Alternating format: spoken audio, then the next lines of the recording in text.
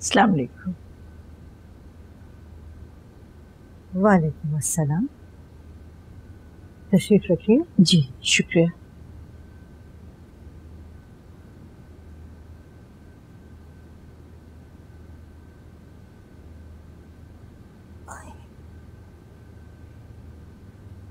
खातून मैं आपको पहचानी नहीं।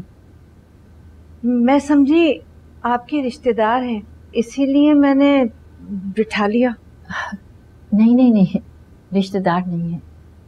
मुझे मुझे दरअसल आपसे एक काम था। इसलिए मिलना बहुत ज़रूरी था। अच्छा? अच्छा तुम जरा जाके चाय तो लेकर आओ। जी। जी फरमाइए मैं आपकी क्या खिदमत कर सकती हूँ? मेरी बेटी है आपके घर में। कुछ अर्सा पहले छोटी सी बात पे नाराज़ होकर आ गई। मैं उसको लेने के लिए आई। आपकी बेटी मेरे घर में? अब आप किसकी बात कर रही हैं?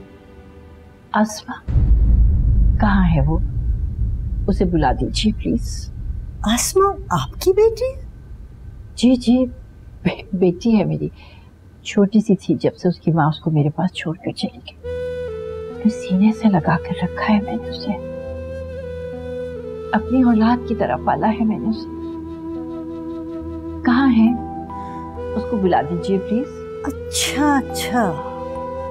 मैं यही सोच रही थी कि आप जैसी मोजिस खातून की कोई बेटी हो, वो इस तरह घर छोड़कर चली जाए, दर दर की ठोकरें खाती रहे, और आप इतने सुकून से बैठी। हाँ आपकी सगी बेटी नहीं है ना, इसलिए। वो लोग कहते हैं ना कि सगी जैसी होने में और सगी बेटी होने में बहुत फ़र्क है। नहीं नहीं नहीं। वो मेरे लिए मेरी बिल्कुल सगी बेटी की तरह है। मैंने हमेशा उसको अपने सीने से लगा कर रखा है। अपनी औलाद की तरह पाला है मैंने उसे। हम दोनों का रिश्ता बिल्कुल माँ बेटी की तरह का है। आप उसको बुलाइए ना। वो खुद बता देगी। माफ़ कीजिएगा। आप क्या समझती हैं? मैं यहाँ से उसको जाने दूँगी ये कैसे कह सकती है आप? अरे क्या पता।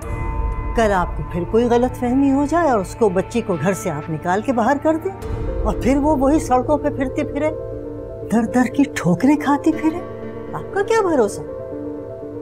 आसमा ने मुझे खुद बताया था कि आप लोगों के सिवा इस दुनिया में उसका कोई नहीं है। और आपने उसको घर से बाहर निकाल के फेंक दिया। न जाने वो इतने दिन कहाँ कहाँ दर दर की ठोकरें खाती फिरी और आपको परवाह तक नहीं हुई। आपको ये ख्याल नहीं आया कि एक जवान जहान लड़की को आपने घर से निकाल दिया, उसके साथ कुछ भी हो सकता था?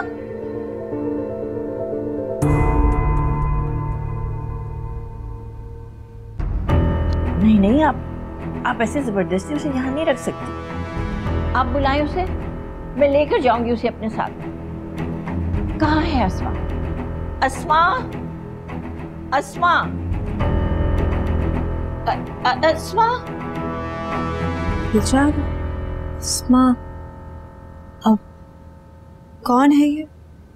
भाई कह रही हैं अस्मा इनकी बेटी है और उसको ले जाना चाहती हैं यहाँ से। बेटी? हाँ हाँ बेटी है मेरी। मैंने पूरी ज़िंदगी उसको अपने सीने से लगा कर रखा है, पाल पोस के बड़ा किया है।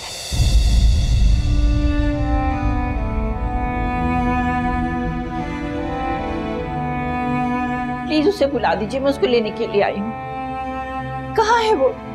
अस्मा? अम्मी जान अस्मा। मेरे बच्चे।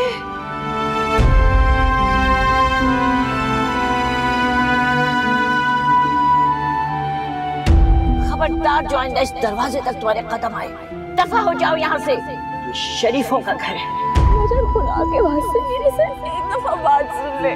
मैंने निकाह किया है मेरे यार से अम्मा जान। खबरदार खबरदार जो तुमने मेरे शहरियार का नाम भी लिया। ज़िंदा दफन कर दूँगी तुम्हें मैं। शक्ल भी नहीं दिखाना मुझे। समझ गई हो तुम?